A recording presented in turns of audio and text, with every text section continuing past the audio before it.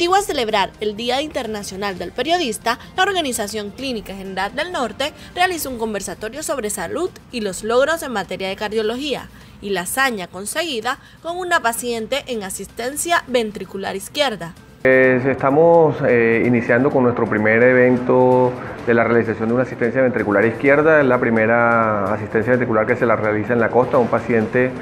con eh, una falla cardíaca posparto, una cardiopatía periparto, con una evolución satisfactoria de, 19 años nuestra paciente y el día de hoy ya mantiene una, una función ventricular aceptable donde estamos haciendo tamizaje de todos los pacientes con falla cardíaca y estamos brindándoles la posibilidad de un manejo a futuro con una mejor calidad de vida y unas posibles soluciones a largo plazo para nuestros pacientes. Sí, pues la clínica conmemorando los 50 años de la inauguración está celebrando esto y decidió hacer un evento sin precedentes anterior en la costa, donde traemos especialistas de España, Alemania, Argentina, Estados Unidos,